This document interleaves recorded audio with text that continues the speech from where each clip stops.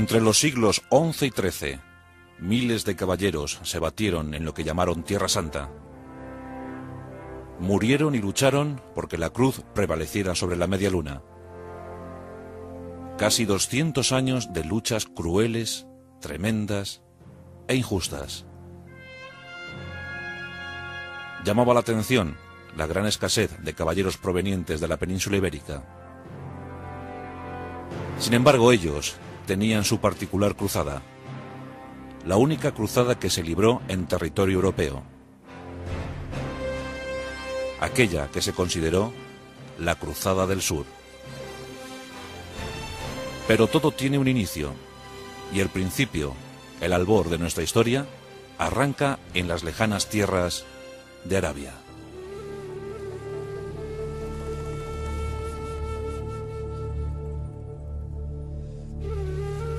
Año 570 de nuestra era. En los desiertos de la península arábiga. En medio de aquella desolación llegó el profeta. Su nombre era Mahoma, el enviado de Alá, el único Dios. Mahoma no había sido destinado para ser grande. No era rico. Era humilde y caravanero pero a los 25 años su matrimonio con una rica viuda le permitió dejar tiempo y espacio para la meditación. En el año 610 llegó la gran revelación. Mahoma se encontraba meditando en una cueva y en una noche cubierta por las estrellas se le apareció el mismísimo arcángel San Gabriel. San Gabriel le transmitió todos los conocimientos precisos y necesarios. Y Mahoma concibió el Corán. Abrieron Libia, Túnez, los territorios marroquíes. En el año 698, los soldados de Alá tomaban Cartago, la eterna Cartago, la antigua capital de los cartagineses. Pronto rodearon Ceuta y a 14 kilómetros de Ceuta, pasando un pequeño estrecho de mar, se encontraba el continente europeo. La nueva tierra para difundir el mensaje de Alá. La península ibérica, a tiro de piedra, a luz de media luna. Las huestes de Mahoma ni siquiera habían cubierto su primer siglo de existencia y ya manejaban, ya controlaban una inmensa extensión de terreno. Los visigodos serían sus nuevas víctimas.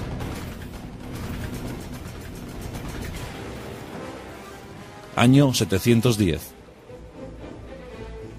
Nos encontramos en plena guerra fratricida. Los visigodos dirimen sus cuitas, pugnan por el linaje, pugnan por el trono, Diversas facciones quieren controlar ese trono para gobernar Hispania. De un lado, los hijos de Vitiza, el fallecido rey, el legítimo rey. En el otro extremo, los seguidores de Don Rodrigo, el gran duque de la Bética. Unos y otros luchan de forma desaforada, luchan de forma cruel y despiadada por el control de la corona y el territorio. Son meses intensos, llenos y cubiertos por las batallas, cubiertos por la sangre goda. Vitiza había muerto demasiado joven, con apenas 30 años, y sus hijos eran muy pequeños para asumir ese trono. Don Rodrigo se vio facultado para optar, para ejercer su opción, y en pocos meses lo consiguió. En el año 710 era proclamado rey, y Agila II, o Achila II, el hijo mayor de Vitiza, debía conformarse con una retirada humillante. Sin embargo, los hermanos de Vitiza pensaron en un apoyo exterior, en la alianza con el exterior. Otros reyes visigodos ya lo habían hecho. El caso de Atanagildo, llamando a los bizantinos, o el caso de Sisenando, llamando a los francos. ¿Por qué no llamar a los musulmanes, al nuevo poder emergente? Sí, ellos ayudarían, los vitizanos recuperarían la situación y después de unas rapiñas después de algunas correrías, los musulmanes se retirarían. Al fin y al cabo, ¿qué podían buscar en Hispania? El pensamiento de los musulmanes era otro bien distinto, aunque en principio aceptaron el pacto. Aceptaron participar en esa guerra civil. Sí, participarían como tropa auxiliar. Año 710. Rodrigo asume la corona y un capitán musulmán llamado Tarif inicia una pequeña incursión con tan solo 500 hombres, pero que va a ser muy productiva. Tarif, con unas pocas naves, arriba en las costas de Cádiz. El punto elegido desde entonces llevará su nombre, Tarif, Tarifa. Con sus 500 soldados, asola la región y consigue pingües beneficios sin apenas tener bajas. Cuando Tarif regresa a África, cuenta su epopeya, cuenta su aventura. Y esto anima a Muza, o a Muza, el balí del califa de Damasco, el gobernador de los territorios norteafricanos. Muza prepara un contingente. Son tan solo 6.000 hombres, en su mayoría bereberes. Pero con ellos se anima a iniciar una invasión. En Ceuta se encuentra el conde don Julián, un hombre de origen incierto. Unos dicen que es bereber, otros que es bizantino. La mayoría afirma que es un conde godo. Don Julián custodia el puntal sur del reino visigodo. Ceuta era sitio ambicionado por todos. Don Julián está ofendido. Entramos en la leyenda. ¿Por qué estaba ofendido el conde Don Julián? Debemos visitar la corte toledana. Toledo, la gran capital del reino visigodo. Ahí se encontraba don Rodrigo. Y en su corte, pues jóvenes de diferentes procedencias, jóvenes que se pues, culturizaban, se preparaban en la corte toledana para asumir futuros empeños. Los chicos se preparaban para ser custodios, gobernantes de ciudades o prepararse para la milicia. Las chicas eh, preparaban sus matrimonios, los mejores matrimonios. Florinda era la hija del conde don Julián. Florinda era hermosa. Florinda tenía una piel aterciopelada. Don Rodrigo pronto se fijó en ella. Florinda además eh, le quitaba la sarna a don Rodrigo con un alfiler de oro, un delicado alfiler de oro. Y lo hacía con tanto esmero que pronto el rey Godo se fijó en ella. Pero no quiso cortejarla. Simplemente llevado, movido por la lascivia, forzó a la joven. La chica avergonzada envió un mensaje a su padre. Una nota secreta, un huevo podrido en medio de muchas ofrendas. El padre entendió que su hija había sido desflorada. En enero del 711, el conde don Julián se presenta en la corte toledana y exige al rey que le devuelva a su hija, el pretexto, la excusa, es que la mujer de don Julián está muy enferma y que solo la visión de su hija Florinda la puede aliviar, la puede curar. Don Rodrigo no desconfía y entrega a Florinda a su padre. Don Julián regresa a Ceuta. Más ofendido que nunca, inicia las conversaciones con Muza. Todo está dispuesto.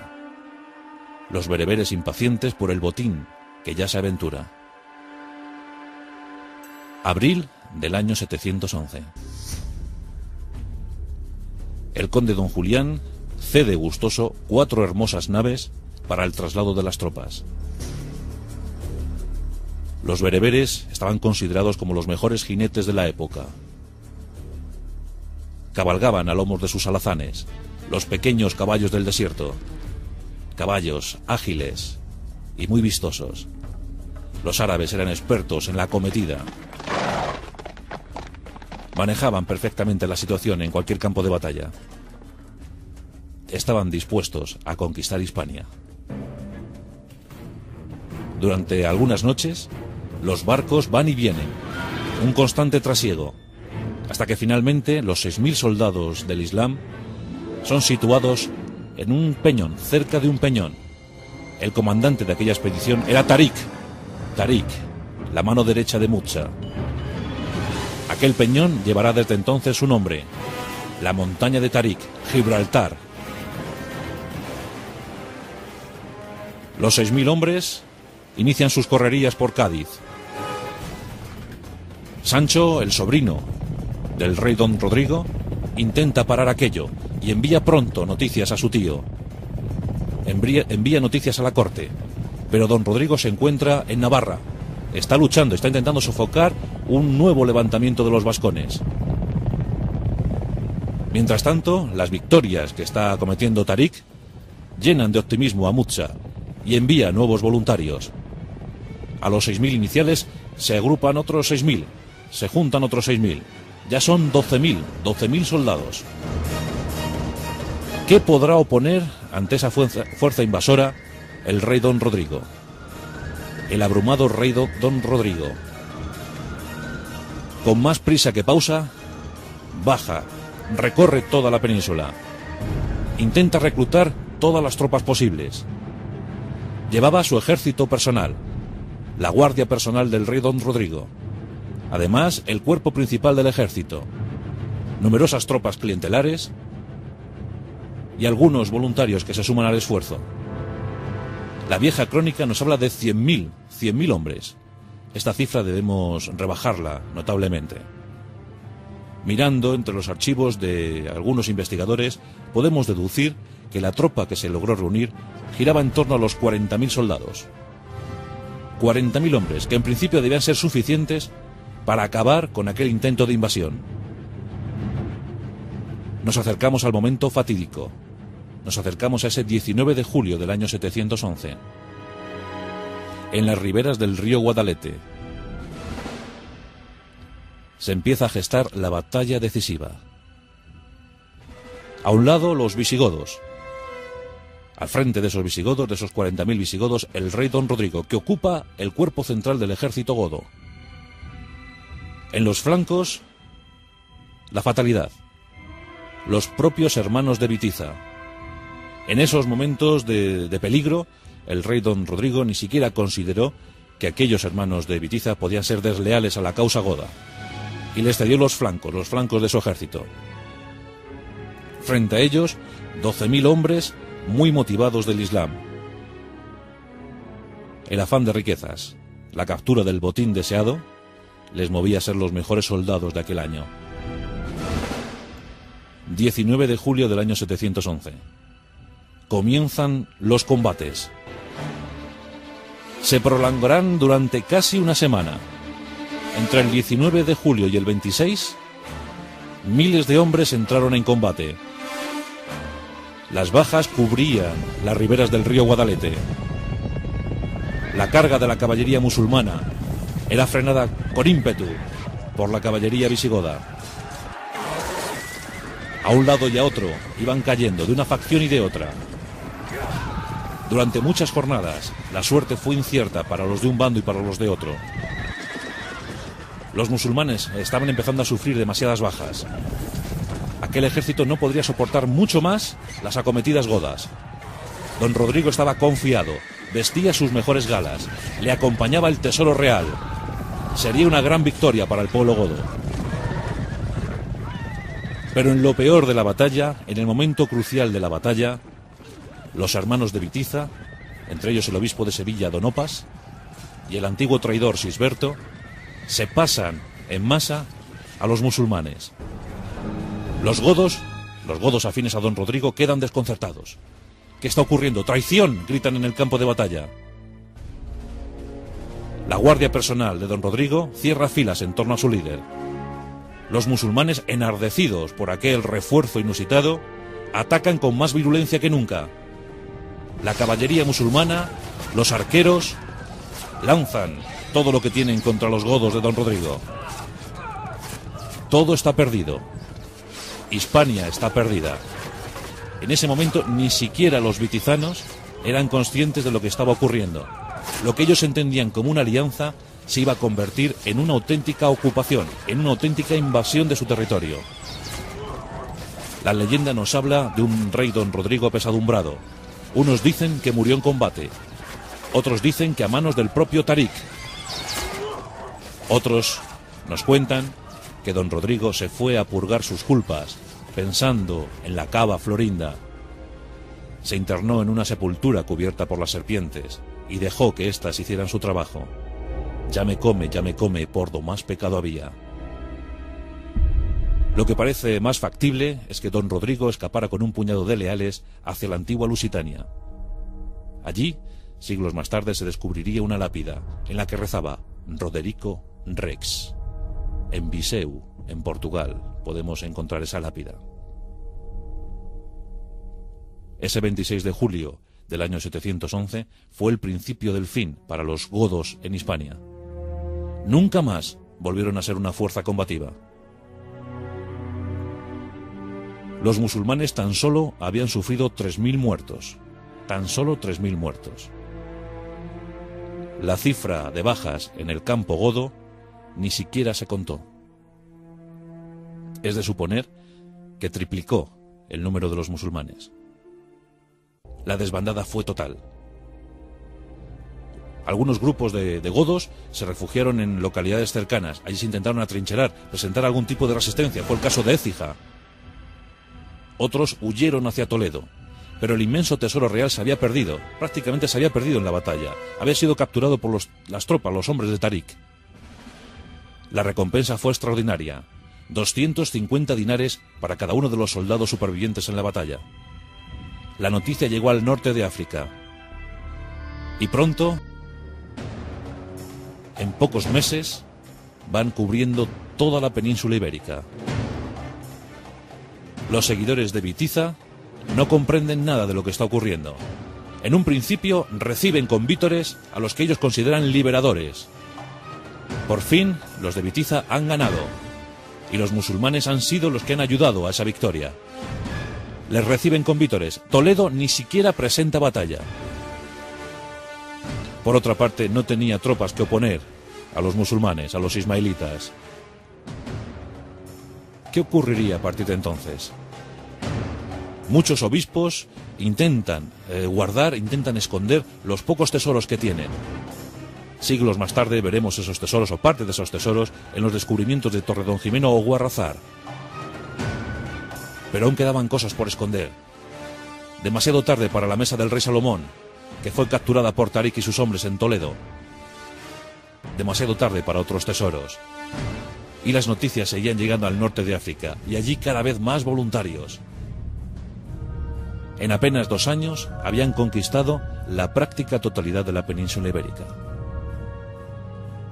Cuando Agila II, el joven hijo de Vitiza, quiere reaccionar y protesta enérgicamente, incluso inicia un viaje a Damasco para protestar, pues le conceden algunas migajas.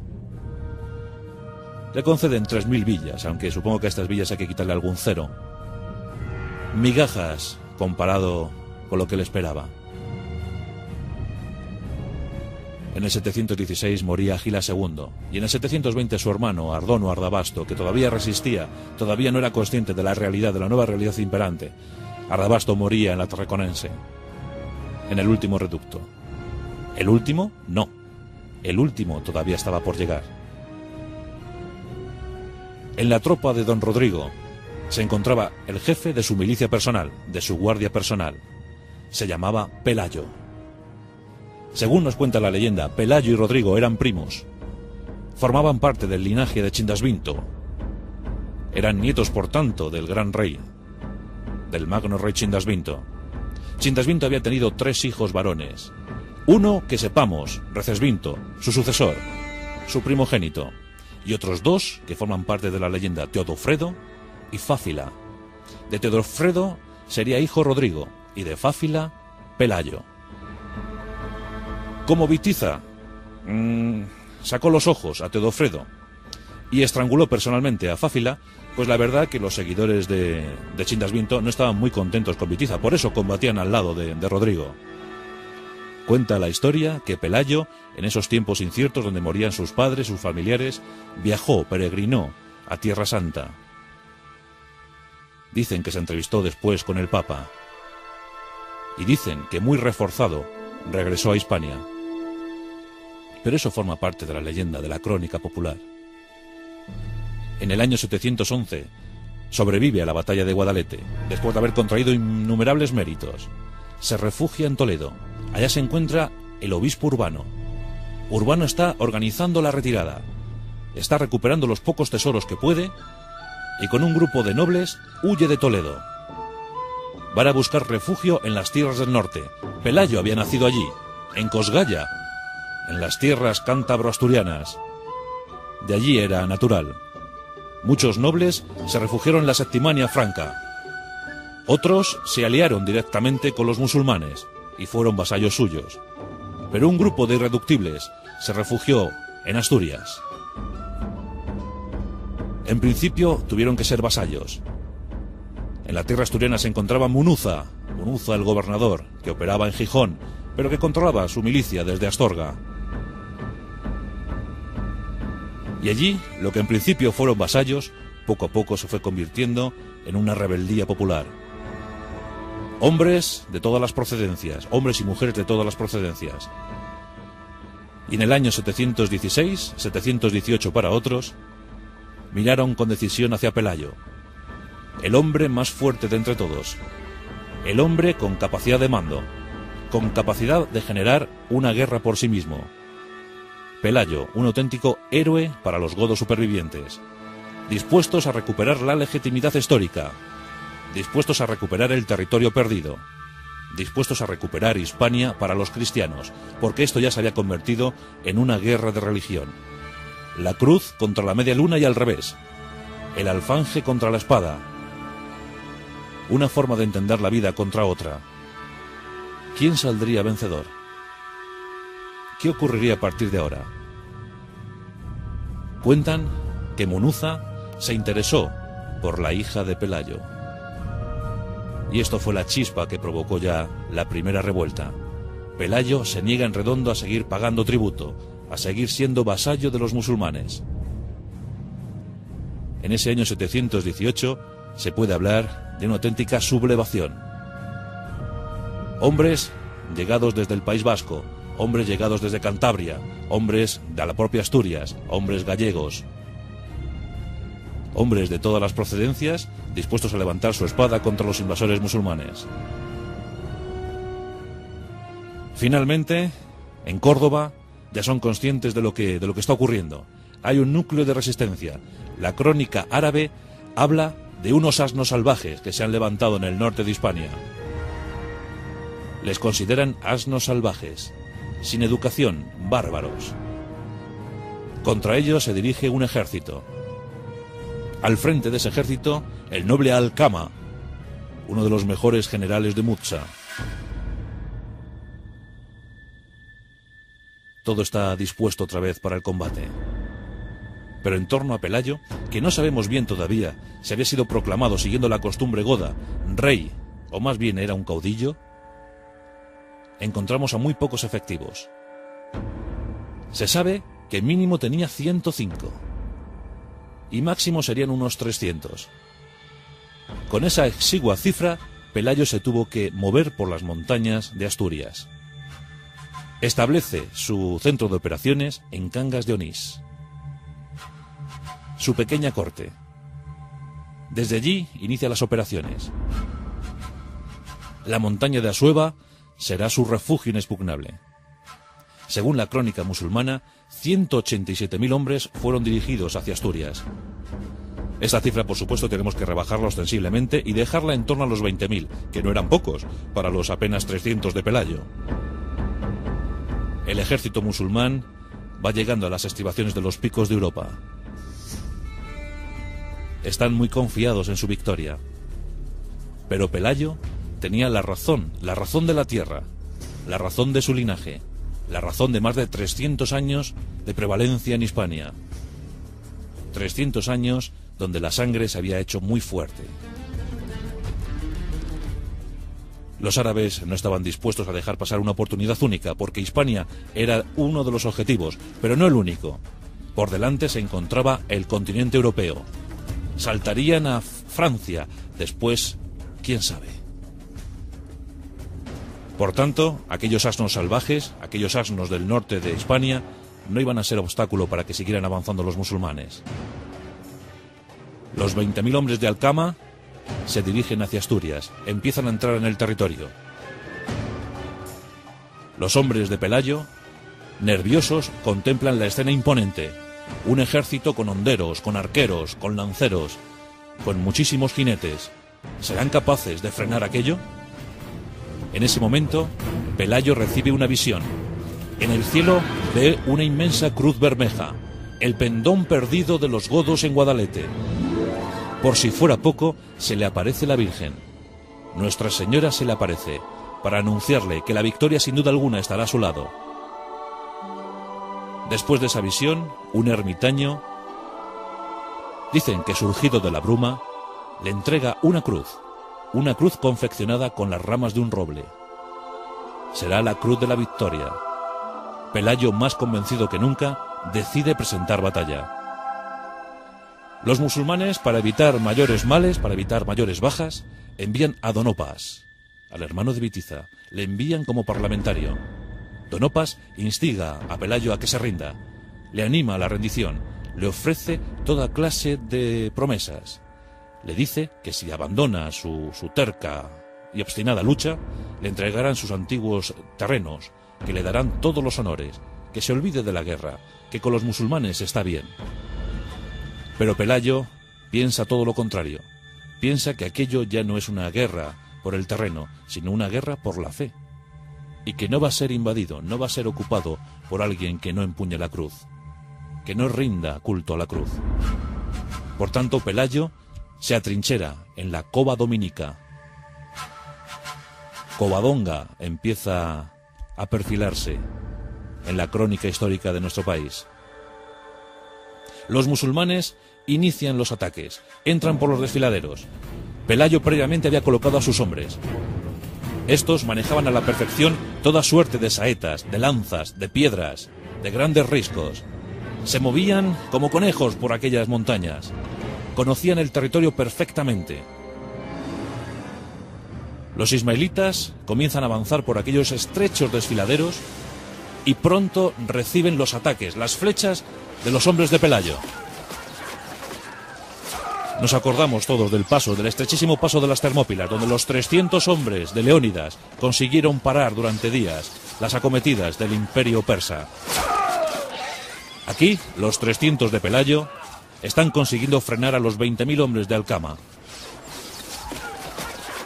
Cuenta la leyenda que los hombres de Alcama lanzaron sus ondas, lanzaron piedras y flechas contra los hombres que se encontraban en las alturas de Covadonga y que prodigiosamente, gracias a la intercesión divina, aquellas flechas se volvieron contra aquellos que las lanzaron. Aquello fue en ayuda de los hombres de Pelayo. Los musulmanes comenzaron a retroceder. Estaban teniendo muchísimas pérdidas, estaban sufriendo muchísimas bajas. Ese fue el momento adecuado para que Pelayo, desde la cova dominica, lanzara un ataque desesperado. A la desesperada, los pocos hombres de Pelayo saltaron, saltaron como posesos dominados por un espíritu como nunca se había visto. Los, musulmanes seguían retrocediendo.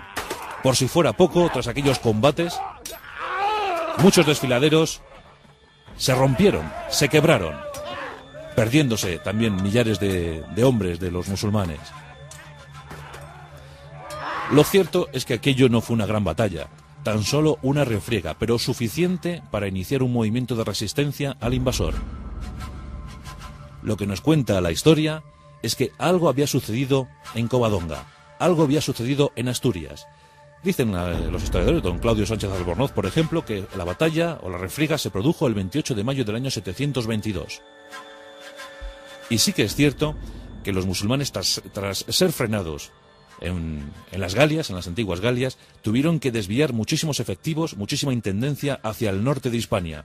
Eso significa que algo, algo grave había ocurrido en el norte de Hispania. No sabemos si lo de Covadonga fue lo más grande que, aconteció en aquellos años, pero sí desde luego fue motivo suficiente para que los musulmanes desviaran su atención hacia aquellos territorios. Y eso fue un gran alivio para el continente europeo. Aquellos irreductibles astures, vascos, gallegos, cántabros supieron hacer su trabajo muy bien. Don Pelayo fue a más y consiguió ocupar la ciudad de León, aunque no se quedó mucho tiempo por falta de, efectivos. Aquello fue el germen para el nacimiento del reino asturiano. Desde Cangas de Onís, durante muchos años Pelayo estuvo combatiendo. Dicen que era frenético, que nunca veía tiempo para el descanso, que luchaba una y otra vez, que acudía a cualquier frente de batalla y que no pudieron acabar con él. En la crónica musulmana se nos cuenta que aquellos 300 fueron siendo reducidos hasta que tan solo quedaron 30, 30 hombres y 10 mujeres, decían los árabes. 30 asnos. ¿Qué se puede hacer con 30? Pelayo fue caudillo hasta su muerte en el año 737. A Pelayo le sucedió su hijo Fafila o Fábila, que tan solo pudo estar al mando de su pueblo durante dos años, ya que en el 739 murió a consecuencia del abrazo de un enorme oso. A Fáfila o Fábila le gustaba mucho cazar y el oso acabó con su vida. Pero después de, de llegó Alfonso I, llamado el Católico. Alfonso I eh, era yerno de Pelayo, se había casado con su hija y fue, desde luego, un gran rey. Y a este sí le podemos considerar como el primer rey de Asturias. Con datos concretos, con datos exactos, se le puede considerar como el primer rey asturiano, Alfonso I el Católico. Después Asturias desembocaría en León. En el año 1035 aparecería el reino de Castilla.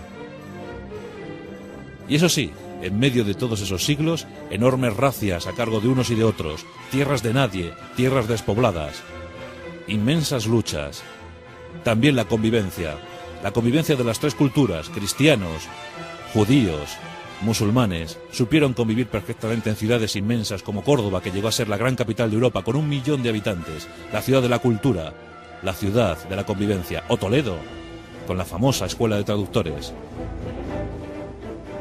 Fueron años interesantísimos, con un siglo XI espléndido donde se triplicó la población, donde surgieron los reinos de taifas, con invasiones como la de los almorávides o la de los almohades, con figuras magnas como la de Rodrigo Díaz de Vivar el Cid, o como la de Abderramán III, o la del Moro Almanzor. Los Omeya, espléndidos, luminosos. Demasiados años para ser considerados una reconquista. Finalmente, tras la catombe en las Navas de Tolosa en el año 1212, los signos cambiaron, los vientos cambiaron. Y en 1482 estallaba con virulencia la última de las guerras, la última de las guerras, la Guerra de Granada. Durante diez años estuvieron combatiendo en el reino nazarí de Granada. El 2 de enero de 1492 se ponía punto y final a la reconquista de Hispania. A los reyes católicos, Isabel y Fernando, les cupo ese honor. Boabdil entregaba las llaves de Granada y lloraba eternamente su pena. Pero esa magna empresa, que duró casi 800 años, tuvo un inicio, tuvo un arranque, unos irreductibles astures, unos irreductibles hombres y mujeres que en Covadonga, en la Cova Dominica, iniciaron la revuelta. Son los momentos épicos de una historia que no es otra sino la nuestra, la historia de España.